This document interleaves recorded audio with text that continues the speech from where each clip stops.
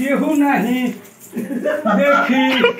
देखी के जादू जी के दे तो बस ऐसे लगा निहुरी के।